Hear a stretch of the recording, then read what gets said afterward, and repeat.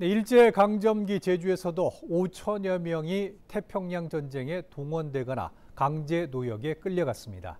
네, 하지만 지금까지 일본 정부로부터 제대로 된 사과나 배상을 받지 못했죠. 네, 때문에 일본을 대신해 우리 정부가 대신 배상하는 제3자 변제 방식은 이들을 두 번 울리고 있습니다. 김용원 기자입니다. 일제 강점기 강제징용 피해자의 유족입니다. 부친은 21살이던 1942년 일본 미쓰비시 중공업에 끌려가 탄광에서 강제 노역을 당했습니다. 해방과 함께 돌아왔지만 평생을 심각한 트라우마에 시달렸습니다. 소식도 모르고 해방 후에 돌아오셨더라고. 음. 매일 술이요. 술만 먹으면 미쓰비시 미쓰비시 쌍욕을 해요. 강제징용 이후 67년이 지나고 부친이 돌아가신 지 1년 뒤인 2009년에서야 강제동원 피해자로 인정받았습니다. 하지만 지금까지 일본이나 전범 기업으로부터 제대로 된 사과를 받지 못했고 정부의 후속 조치도 없었습니다.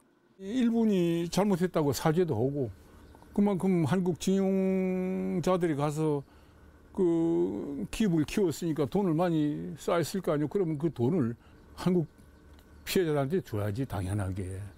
그게 순리라. 응 아무도 없었어요. 최근 우리나라 정부가 일본 대신 배상하겠다는 제3자 변제 방안이 나오자 그동안 숨죽였던 제주 지역 피해자들도 정부 결정에 반발하며 목소리를 높였습니다. 우리가 너무 굴욕적이고 일본에서 배상을 받아야지 왜 한국에서 돈을 만들어서 유족한테 그걸 주느냐 그건 말도 안 돼. 순서가 뒤바뀌었어요.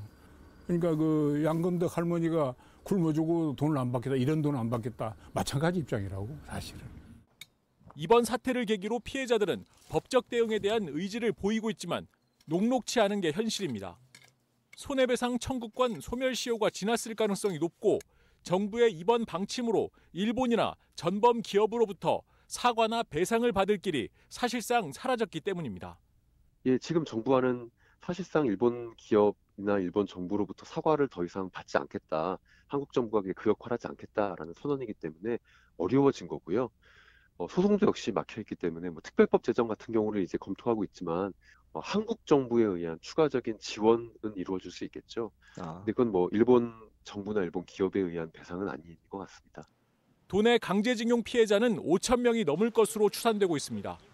일본의 사과나 배상이 없었고 우리나라 정부마저 피해를 대신 배상하겠다고 밝히면서 진심 어린 사과를 기다리는 피해자들을 두 번 울리고 있습니다. KCTV 뉴스 김용원입니다.